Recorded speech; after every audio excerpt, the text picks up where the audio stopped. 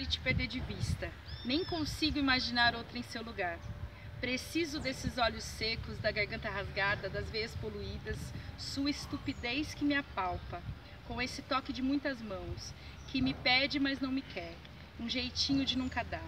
Logo você, que não deseja e seduz mesmo assim, abre caminhos para mim como se fosse carinhar, como se eu pudesse querer, depois me joga para as beiradas, tentando esquecer, me provoca, me sufoca, e quando saio para te ver, você nunca me chama.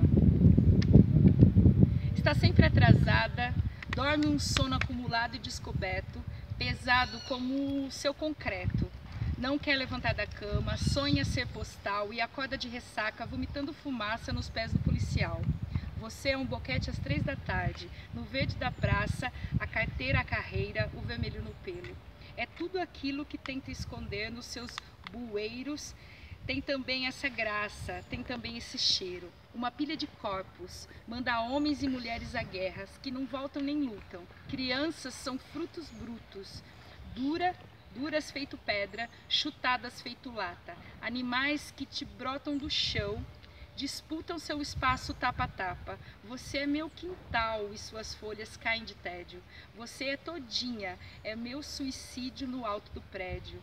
É esse ir e vir de, de se perder, uma paisagem que não me olha, esse evangelho de placas na estrada do paraíso a catraca, o céu disputado que já não cabe oração, sem santa que se empreste, sem santo que se passe, nem reza que se prece, sem quem faça ou escute.